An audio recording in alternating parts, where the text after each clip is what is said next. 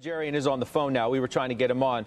Uh, Pete, you have calls, new calls, I think, in, in AMC, right? Talk, talk to me about what, you, what you're doing, what you're seeing.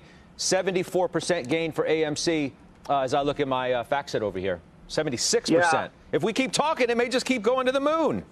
It, it could. Well, you know, tactically, I think what we're seeing here is that, that this whole phenomenon that started in January, and AMC, by the way, was a part of it in January. It wasn't just GameStop. The one difference was and I heard Joe talking about the short interest. There was a huge discrepancy there, though, because with GameStop, you're talking about a couple of hundred percent uh, of the short was in place, and this was about a 20% short. Yeah, it's moved up a little bit, so you can see that there is some players in there getting involved and trying to be active and and maybe defending positions to some degree. I mean, that that could be a possibility. I I would agree with Joe though. I don't know why you'd want to fight this when you when you've watched and witnessed what happened with GameStop, and we all watched the price that absolutely just skyrocketed at one point. We were well over four hundred dollars a share with that short squeeze. So there is an incredible short squeeze here now. Obviously, it started a couple of probably three, or four sessions ago. We traded over three million contracts last Thursday, and that was with the stock just making that.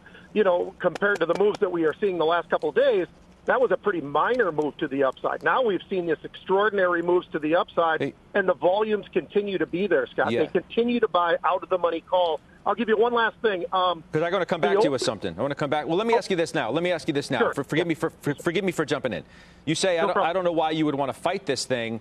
Um, Mm-hmm. um, obviously, but do you want to join this thing? I mean, look, I, you know, I don't know how our viewers are thinking about this, um, who's involved and who's not, and what you're thinking about a stock that was up, you know, 20 some odd percent earlier and 40 percent when we got on the air, and now it's doubled from there and it's up 85 percent on the day. Do, how, I don't know what the advice is, Pete.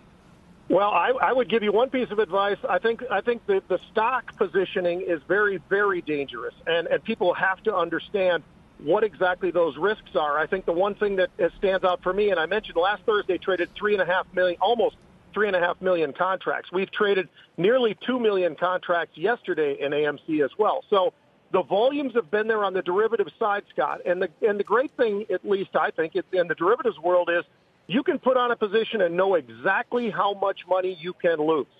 And it's a little bit different when you're talking about the stock price because people can position in there and try to get themselves in there. And you're, you're, you were just mentioning, well, what do you do at this next level and this next level? Well, with the options, you can roll and, and take positions off and then put new positions on. And I'll tell you, the, the, the thing that I was going to say a, min- a minute ago was the extraordinary thing for me yesterday was the open interest of the 73 strike calls yesterday exploded. Now, those were folks that clearly were just taking a shot of some sort, but going all the way. And that, uh, this is pre the move that we are seeing today. This was yesterday. So just enormous volumes going all the way out to the 73s that seemed ridiculous. Now doesn't seem quite as ridiculous as the stock has made the move that it has I don't know. already today. It- so it- it, it's It, sorry, sorry. It, it's halted right now for volatility, I- and